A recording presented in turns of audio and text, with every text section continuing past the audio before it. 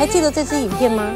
这两个月好多人在问这支影片里的主角福星去哪里了，怎么都没有后续？他回家了吗？还是怎么了？今天就带大家一起来看看福星的近况。如果你支持我们的送养工作，你还可以加入会员，可以独享很多会员影片哦。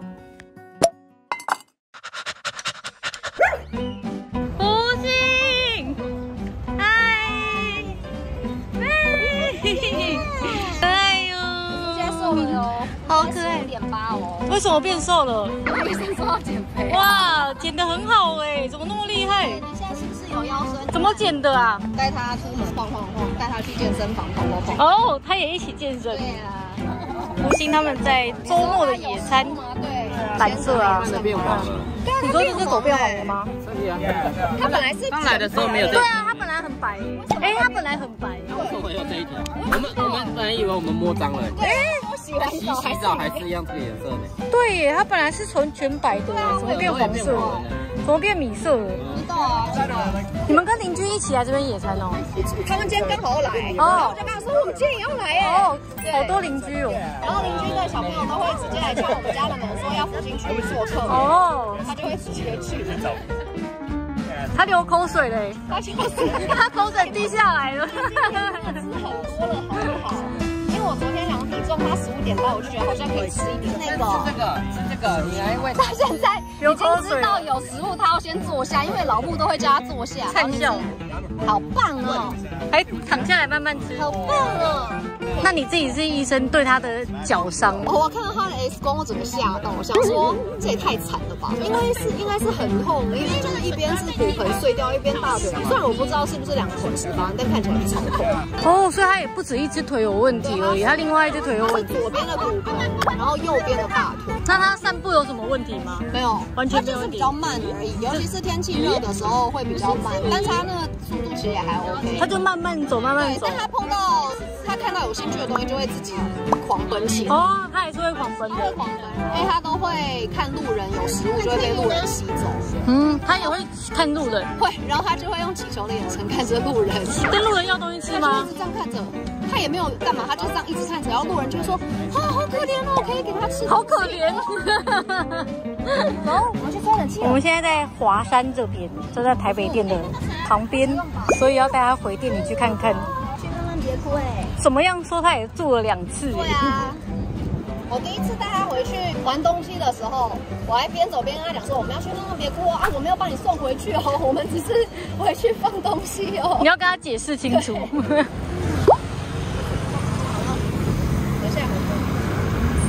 你抱的看起来很轻的样子，蛮轻的，因为从十七公啊，对啦，哦，减一下肥也好，这样比较好抱。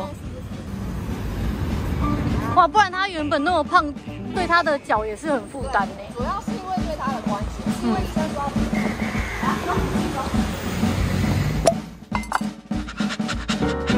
哦，完了，你大家会被骂哦，真的。脆皮，脆皮。好了好了，不是这样对学长。好了，来，扶来，扶来。来，我有牵着，我牵着，好凶他现在。哎呦，好难看！你太嚣张了吧？你拜托一下好吗？你太过分了。有家就这样子，了不起哦。拜托一下，鼻子这样子，好丑，好生气。陈福星，他真的是。大家都要为福星来他现在焕然一新。现在超三，够谁？你真的很凶哎。好，你坐好，你坐好，你坐好。啊，好，妈咪摸摸。我那时候当志工来看福星的时候，他跟小狗，小狗烦他，其实都还会稍微忍一下。我觉得至少可以忍个十几分钟。然后如果他真的受不了，他就会自己起身。那他今天一暴怒，怎么会这样子？我不知道，你问他。哎，你凶屁，你不需要忍耐，对不对？你在凶什么？这些小屁孩，我再也不用忍受你们的。看洗牙了，牙齿亮晶晶的，白帅帅。好了，还是洗牙就变凶了，是这样子吗？家喽！回家了，狗狗。回娘家以后，他们家离住的离店里不远。好，福娘要表演穿背带哦。来，好，娇娇，好棒。啊，另外一个嘞，妈咪要背好了。好，准备好了吗？娇娇。好，他现在脚脚就会放上来。OK，一二三。哎呀，好棒！好了。每天这样子几次？起码两次吧。哇！的要很强而有力。但他瘦了两公斤，真的是比较好背，我只能这么说。好乖哦，他都不会乱动哎。对啊，他习惯了，因为每天都这样背。他爸爸有时候就不会背，爸爸有时候就直接用抱。哦，直接直接抱也可以啊。可以，但我手会摔。哇，他现在都不会真的，他现在就是挂在那里。然后我的主业是急诊科医师，那通常急诊上班时数比较长，要十二个小时。可是因为我现在的每个月的班数不是那么多，所以我需要这么长时间不在家的时间，一个月就比较少。那爸爸的工作又是是就是他比较在家里工作为主，所以他陪福星的时间其实比较多。不上急诊的时间都会带福星出门。那最好最长就是大家去健身房，因为我的健身房是私人的，所以可以带狗狗去啊，大家都很爱他，就是大家都会跟他玩。他在健身房就是当自己家，会东跑。西跑啊，东看西看，大家去他都很开心。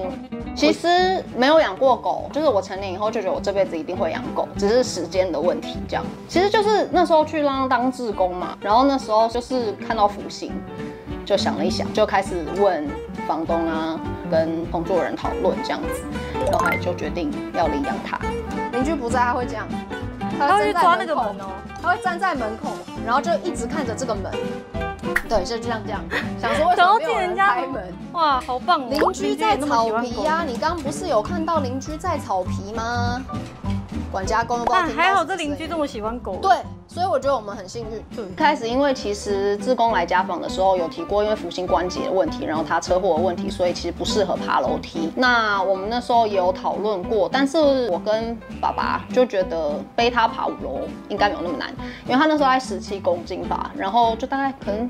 三十五磅，我就觉得嗯，应该是还 OK，因为平常在训练健身的时候，就是这个重量拿的蛮蛮习惯的，所以我们就去买了一个背带，就是这样每天上楼下楼背。反正之后也有可能会再搬去有电梯的房子吧。那其实背它上下，我觉得是小事还好。就是我觉得他现在应该比较有做自己的感觉，然后他是真的亲人，所以他喜欢跟人相处，喜欢跟邻居相处。那我觉得他每天看起来应该都还蛮快乐的吧。其实他，我觉得他要的也没有很多，就是就是这样子的生活，他就很开心了。没有，其实他来了，他来了以后差不多都是这样子，哎，只是今天吃真的比较多点。有啊，这样吃很好。等一下，看起来很好吃。今天还有吃米饼。对啊，有，我刚看他吃了很多块。陈福星，你今天吃很多。你看他，他他会跳圈。跳舞。超兴奋，他就这个时候。他就在等。你刚刚没回来，他就一直在等东西。他就一直站在门，我就说他在等他回来喂他吃饭。小黄瓜，你看小黄瓜哦。Yes。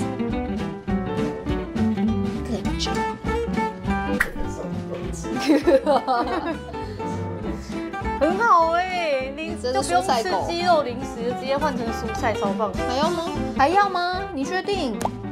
你还要哦？这只狗是不是没有饱食中那是什么？就是会告诉它饱了。好哎，对哈，脑中的哎，有的狗好像真的是这样哎，饱食中枢。没有，我觉得可能是以前是流浪狗，真的就是要抢，所以所以有吃就会先吃。在这里，在这里，好看我，来坐下。好棒哦，好棒！好，那你看在这里，好，放手，咦，又笨，哎，放放手，啊，好棒！那红萝卜那么难吃的东西，它也会吃会，它也会吃，直接吃？光光，嗯，我都给它拿来，它就会全部吃。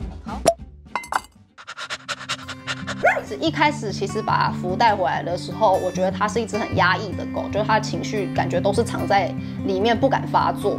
然后它很乖，可是你会觉得它好像是因为对生命沮丧的那种乖。一阵子以后就开始觉得，哎，它好像表情比较多了，会绕圈圈啊，会摇尾巴。然后我记得印象很深一次是，就是第一次我工作回家的时候，听到它汪汪叫，然后开门发现它在对我摇尾巴。那个第一次的感受真的很深，就觉得哇，它好像有把这个地方当他的家了。他好像现在有比较能够表达他自己的情绪了，应该也不像以前那么压抑了这样子。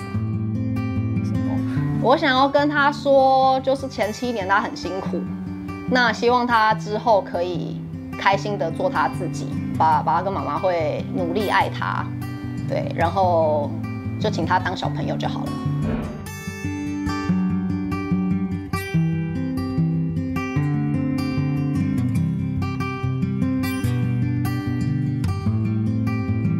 大家放心，福星好好到家了。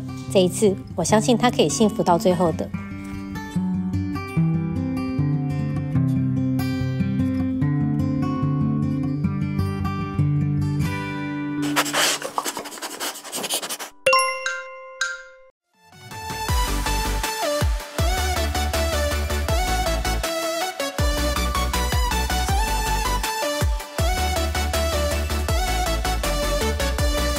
如果你也想成为下一位爆红创作者，请打开下方资讯栏链接，一起来投稿吧。